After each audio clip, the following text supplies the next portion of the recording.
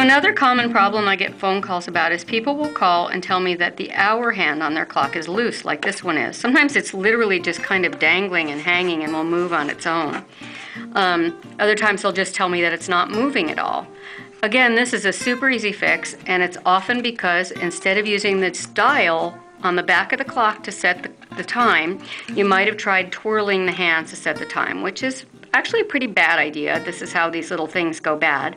The good news is they are really easy to fix, so if you do do that, you can remedy this in a heartbeat. So really what's going on is this hand is loose on the shaft and it was kind of pulled off of its little track. It's super easy to fix if you have thumbnails. Just slide your thumbnails underneath the rim of the, of the minute hand and push that hour hand down till you feel it get snug.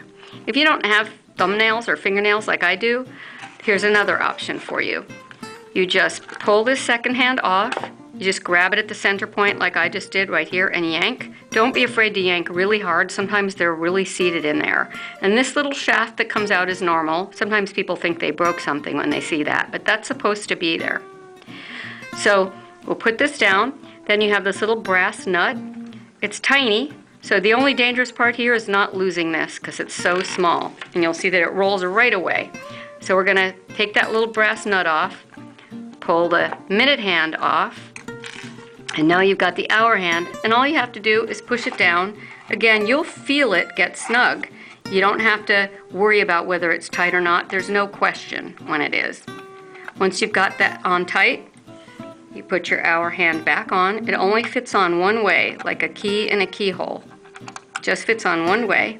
You take your little nut, you put it back on. You just tighten the nut with your finger You'll see when this hand starts moving, you've tightened it enough, and you just take your second hand and slide it right back in the shaft. And now you've got a working clock. Again, make sure that your second hand doesn't touch any of the other hands, and you're fixed.